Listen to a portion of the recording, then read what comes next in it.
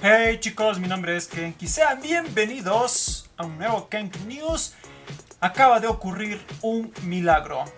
Acabo de presenciar un milagro y es que el Vita acaba de levantarse de entre los muertos. Ha sido pirateada, pirateada. Eso significa que el sistema va a tener un segundo aire. Quizás no una segunda juventud, creo que nunca fue joven de hecho, pero un segundo aire. Sin más preámbulos, empecemos.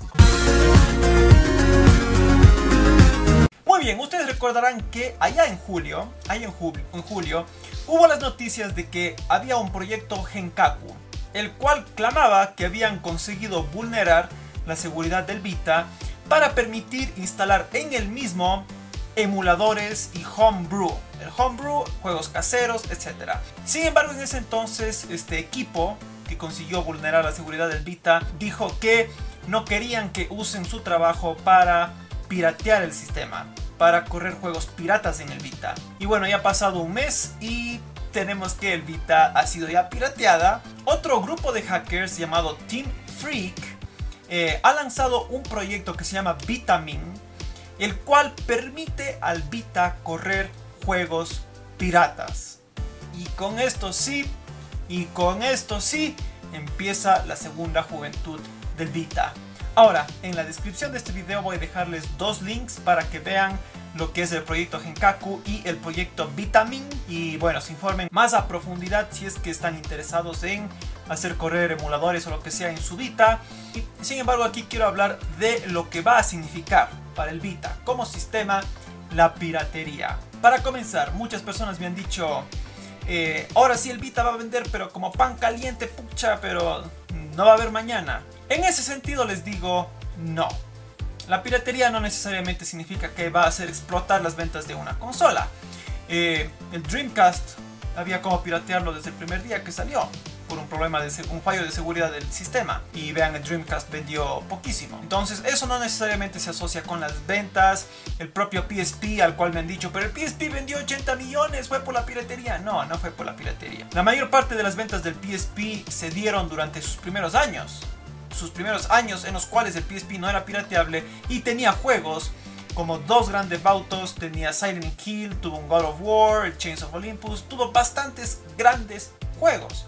Desde 2008 en adelante el PSP tuvo ventas bajísimas y solo en Japón consiguió, ahí se mantenía fuerte gracias a la, a la, saga Monster Hunter, ahí vendió 20 millones, pero repito, la piratería ayuda, ayuda algo, pero no ayuda tanto como a veces la gente quiere hacerlo pintar. Ahora, ¿de que va a ayudar algo a las ventas del Vita? Creo que sí, al menos acá en Occidente donde las ventas del Vita son casi inexistentes puede que ayude algo. Y yo sé que algunos dirán, pero bueno, es moral, es moral eh, piratear el Vita. El Vita fue un sistema que fue abandonado por Sony en el 2013, 2014. El Vita murió el momento que Sony tiró la toalla en ese sistema. Piratear el Vita a estas alturas es inmoral, no lo creo. Pero de todas formas, como siempre lo digo, también depende de su conciencia. Si en su conciencia ustedes dicen, bueno, piratear el Vita no me parece bien, no lo hagas. Tremendo. Ahora, algunos de ustedes me dirán, Kenk, ¿vas a piratear tu Vita? Les voy a decir una cosa. Yo soy alguien, y no lo he dicho, nunca lo he escondido, que a quien le gusta el Vita. Y de todos los juegos del Vita que han salido, yo he comprado casi todos los que me han interesado. De hecho, les voy a decir, aquí está mi Vita. Y no sé si es que lo pueden ver, pero está con como polvo. Eh, porque no han salido juegos que últimamente a mí me hayan interesado. Creo que a estas alturas es factible, digo yo, comprarse un Vita de segunda mano. Yo, por ejemplo, no creo que vaya a piratear este Vita. Quizás un Vita 2000 de segunda mano, si es que lo encuentro en unos 100 dólares, lo compraré y veré qué puedo hacer especialmente con los emuladores. Me muero por probar juegos de PlayStation 1 y de otros sistemas en donde me dé la gana. Más concretamente los Crash, los Spyro, eh, los juegos caseros, los Homebrew, emuladores de otros sistemas, de NES, de Atari, de Genesis, Super Nintendo. Inclusive espero yo que haya como emular el 64 porque eso en el PSP original no había como. E inclusive digo yo, ¿por qué no? Poder emular en el Vita Android. Android. Y con ello poder jugar juegos de ese sistema operativo. No creo yo que sería posible emular el PlayStation 2, pero me, gustaría muchísimo poder emular el PlayStation 2 en el Vita. No creo que es posible, especialmente por las malas conversiones que hubo de juegos de PlayStation 2 al Vita. Tengo que aplaudir, sin embargo, también el hecho de que la gente se demoró tanto en piratear tanto el 3DS cuanto el, Vita. Y miren, a estas alturas el Vita está ya prácticamente muerta. Sin embargo, con esto creo que son grandes noticias para los jugadores que quizás se sintieron abandonados por Sony, para aquellos jugadores que son entusiastas de la emulación y especialmente de los juegos caseros del homebrew, para aquellos jugadores a quienes les interese emular inclusive no tenían juegos de PC antiguos. Pero bueno chicas y chicos, háganme saber ustedes en los comentarios qué opinan de el Vita. ¿Están más interesados en el sistema ahora que ha sido pirateado?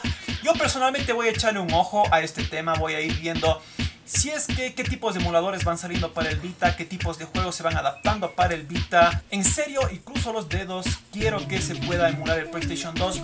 Dudo, por supuesto, dudo, pero me contentaría al menos con ser capaz de emular Android. En todo caso, les mantendré informado de mi parte. Si les interesa el tema, suscríbanse. Pero ustedes también, como dije antes, háganme saber qué opinan de esto. No se olviden tampoco que me pueden seguir en mis redes sociales, suscribirse, como dije antes, y nos vemos en el siguiente.